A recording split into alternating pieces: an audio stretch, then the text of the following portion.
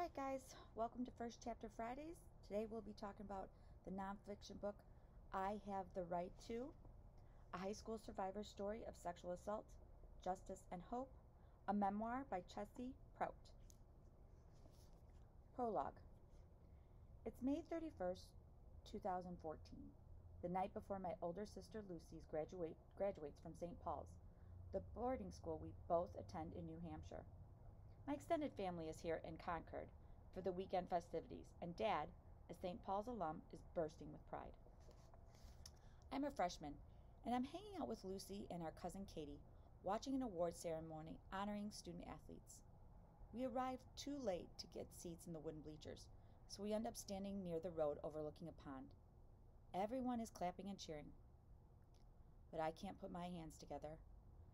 I should be mesmerized by the midnight blue water reflecting everything beautiful around it the clementine sun sinking in the sky, the red brick academic buildings, the ethereal pine trees, but my knees are wobbly and my legs feel like jello. A sticky breeze ripples across the flag. It's warm outside, and the guys are sweating in their royal blue and crimson blazers and straw hats. Lucy and her friends are wearing strappy sundresses. I have on a loose fitting blue shirt and white jeans, so I can cover my body, cover everything that he touched last night. I look over again at the pond. I used to be obsessed with that view. I took a photo of it almost every week this spring as I walked from the dining hall to my dorm. How could a place that's so beautiful, so filled with endless promise, cause so much ugly pain?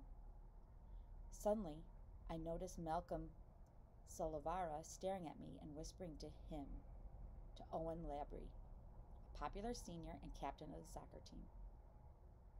Four days ago, I received an invite from Owen to climb hidden steps and bask together in the nicest view on campus.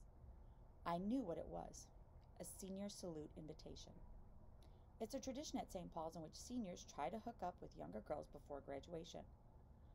As much as I love an artsy Instagram photo, I didn't want to be just another sexual conquest. Besides, Lucy had briefly dated him and told me to stay away. But after I sent Owen a sassy rejection, a friend who lives in Owen's dorm confronted me. Owen's not going to pressure you or do anything to hurt you, my friend promised. He's a nice guy. He just wants to spend time with you. My friend kept insisting I go. Owen had a secret key with access to a cool view. Didn't I want to see that? I'm only 15 years old, but I've lived overseas in Japan, and I've been on my own at boarding school for a year. I could handle a rooftop excursion with an 18 year old senior. If I'm honest with myself, I didn't mind kissing him. Owen's cute and a golden boy, beloved by teachers and bound for Harvard University in the fall. I glance over at Lucy and I'm afraid to tell her what happened last night.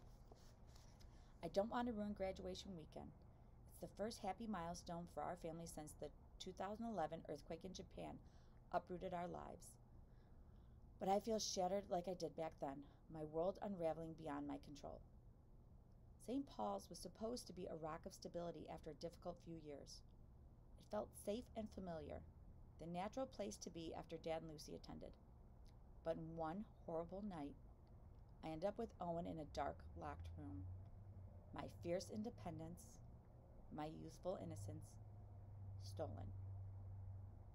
I look up and see Malcolm playing connect the dots with his eyes, staring at Lucy, then at me, then at Owen. His smirk sends shrapnel through my body. I blink back tears. I need to get away from here, from him, from what he did to me. I don't know who to tell or what to do. As I walk with Lucy and Katie uphill past the pond and the squash courts, a stillness comes over my body. I have to tell Lucy. I know she might be angry that I didn't listen to her, but she would understand that I didn't want this to happen.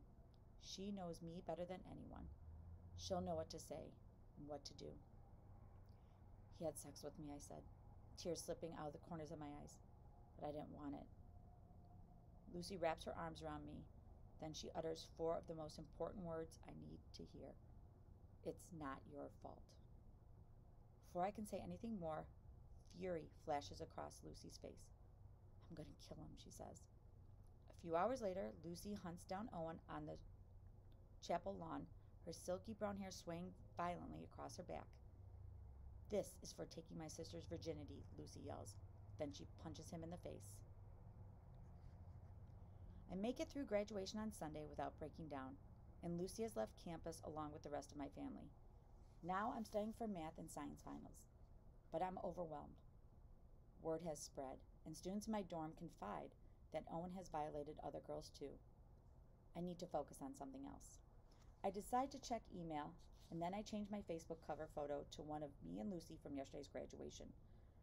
Lucy has me in a semi headlock and is holding a celebratory cigar in her right hand. Classic silly sisters pose.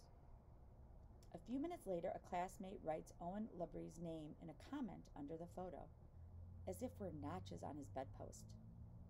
My head begins to spin, and I hear my phone ringing. It's Lucy. She's shouting. I'm upset that Lucy is upset, but I'm not mad at her. I'm mad at me, like she's mad at me, but I'm also mad at Owen Labrie. I race through my dorm crying, trying to figure out what to do. I still don't understand what happened to me. Should I tell an adult? Do I go to the hospital? Later that night, the friend who pressured me to go out with Owen texts a sickening manifesto. Chessie, I know what happened with you and Owen, and I just want to say I'm really sorry. I know him really well, and if he thought he was doing anything to hurt you physically or emotionally, he would have stopped. So before you tell anyone names, I just want you to consider the circumstances. Owen is starting a new life in a new place, and next year will be a fresh start for you too. I just love you both, and I know what he did hurt you. And maybe you didn't necessarily hate what he was doing at the time. I don't want to see either of you get hurt. Maybe I didn't hate what he was doing? Is this some kind of threat? My body convulses and I shriek uncontrollably. Dr. G, a dorm advisor who lives next to me, hears me and brings me into her apartment.